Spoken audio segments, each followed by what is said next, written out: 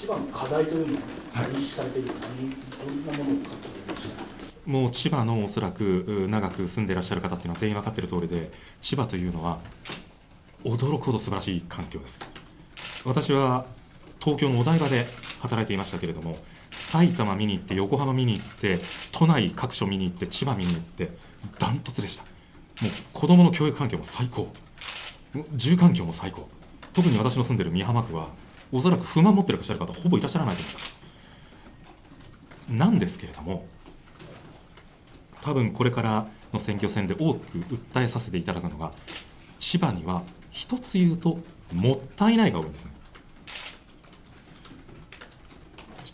成田空港まで30分じゃないですか。東京ディズニーランドまで20分じゃないですか。東京都心まで40分じゃないですか。見ると、東京湾の海に夕日が沈んでいって、夕日、海なめの富士山ですよ。あんな光景見られるとこ関東でないですよ。究極の環境だと思います。なんですけれども、やれひょっとしたら反対票が出るかもしれないから、やれひょっとしたらバッシングを受けるかもしれないから、やれやれやれやれって言いながらですね、幕張新都心なんて空き地だらけですよ。強いて言うなら、勇気を持って一歩を踏み出して、挑戦する、改革するという姿勢は、千葉に少し欠けているのではないかなという気はしてます。政策面で、はいあのまあ、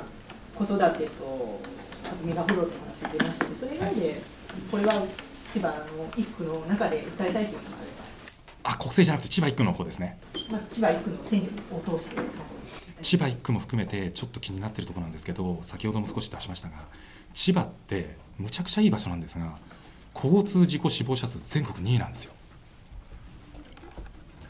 例えばアメリカとかだとラスベガスとかだと IR の収益をどういうところに使ってるかっていうとソーラーパネルを全部東京ドーム27個分のソーラーパネルがあるんですが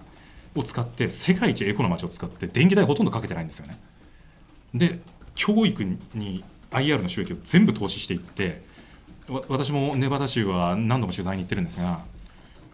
子どもたちが平気で郊外のプール付きの家に住んでるんですよ。で家の前までスクールバスが迎えに来てくれる。絶対に交通事故起きないわけです。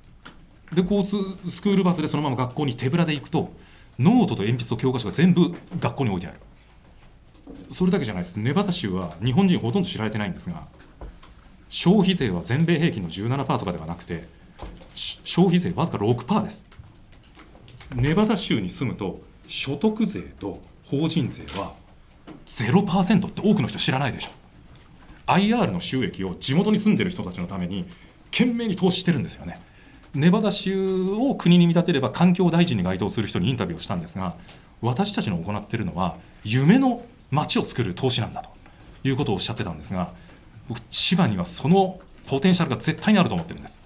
おい予算が必要じゃないか。どっから財源出すんだって言われてもメガフロート計画を作ってアジア最大の IR を作り切ることができれば